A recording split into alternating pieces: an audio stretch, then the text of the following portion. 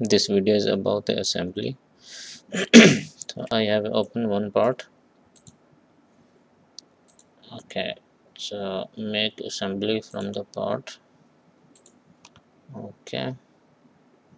So by default this part will be available here. Just click. And uh, if you want to make more copies just uh, press the control key and can make it more copies.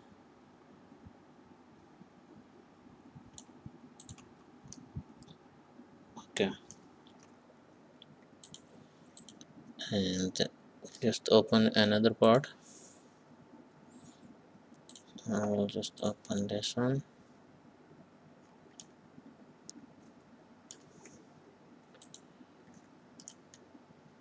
and uh, just go to window.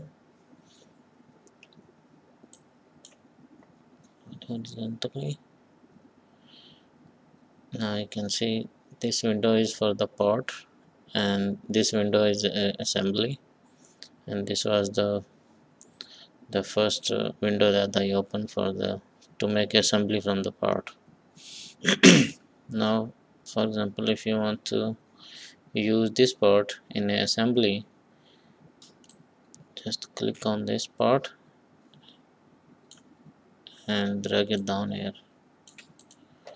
You can just click on this one and you can rotate this part.